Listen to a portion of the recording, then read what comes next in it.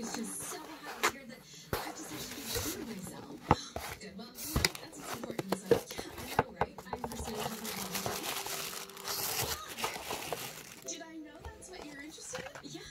I mean, I like to think of it as giving people more confidence in themselves, just like you taught. Do you remember that essay that I wrote for you last year?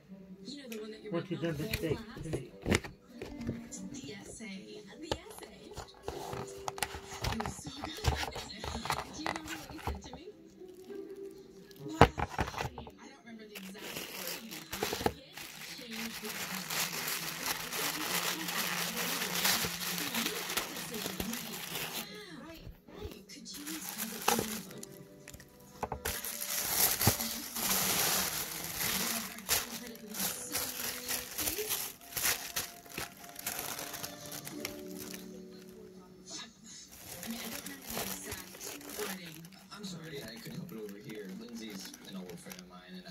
love to hear these stories. What was it that she said?